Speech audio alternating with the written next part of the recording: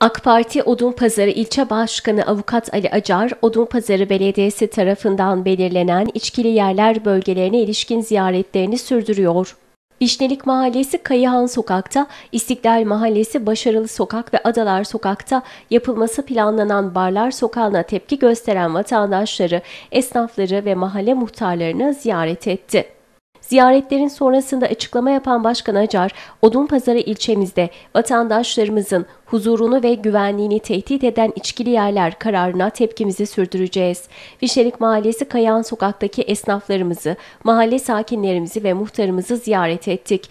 Bölgede yaşayan vatandaşlarımız da bu bölgede toplumsal huzuru bozan içkili yerler kararına tepki gösteriyor. Sosyal yaşam alanlarına ve eğitim bölgelerine de yakın olan Kayahan Sokak'ta çocuklarımızın geleceğine, huzuruna ve sağlığına engel oluşturan bu bölgelere içkili mekanların açılmasından vazgeçilmelidir, dedi.